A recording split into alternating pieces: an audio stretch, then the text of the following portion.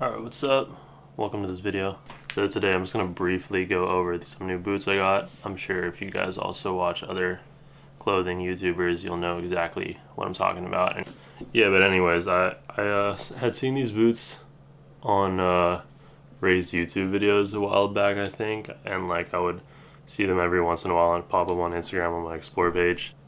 And then a few weeks ago, they had popped up on my Explore page and I was like, oh damn, like I guess they're out. I want to see if they have any of my like any sizes left because I was thinking that they probably sold out. And uh, luckily they only had one size left, and that was a size 12, which is my size.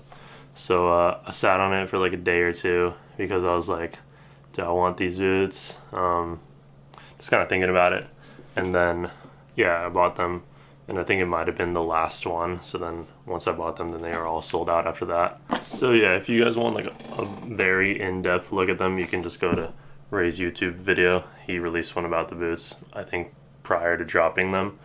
Um, but yeah, I'm just gonna quickly go over what I like about them, some things I might dislike, and then I'll just show you how they came packaged, the box, a little bit of closer look at some parts of it, and yeah, that's it.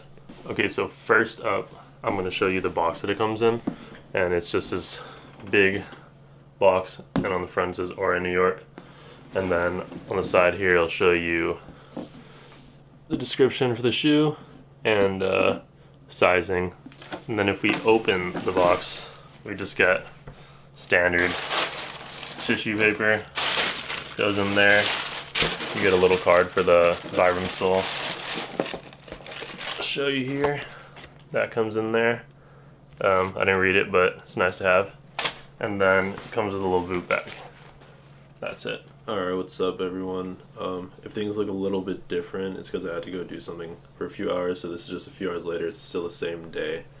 But uh, yeah, that's why things might look slightly different.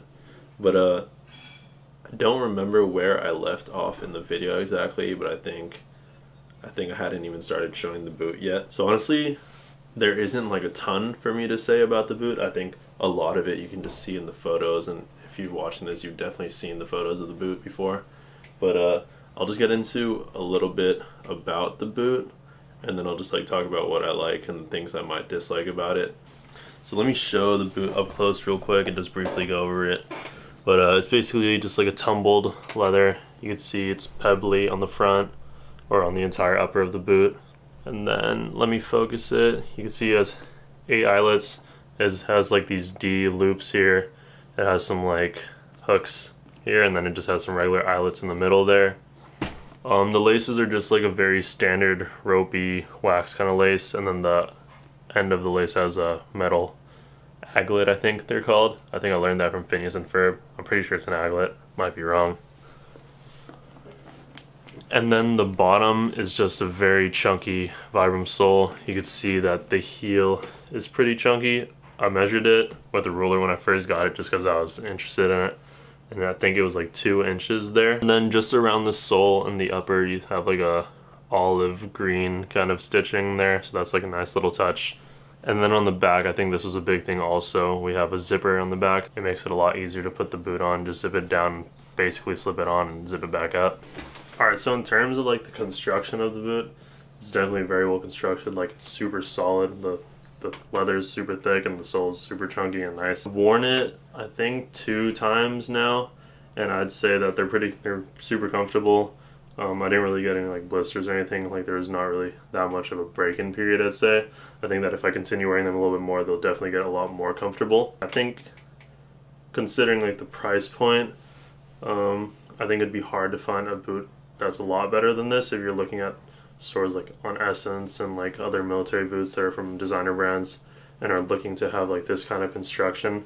I think it'd definitely be hard to find a better boot, but if you are looking for a similar boot that's like a lower price point, Doc Martens would definitely be the go-to. But other than that, if you are looking at more expensive boots, these are probably the ones that you should get. Like, just judging off the construction of the boot, and if you take into consideration other high-end designer brands, I think that they're definitely a good boot to get.